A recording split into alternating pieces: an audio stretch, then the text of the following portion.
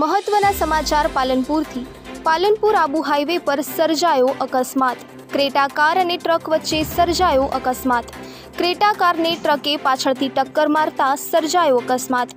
જો કે કોઈ જાનહાનિ થઈ નથી ઘટના સ્થળે લોકોના ટોળે ટોળા ઉમટ્યા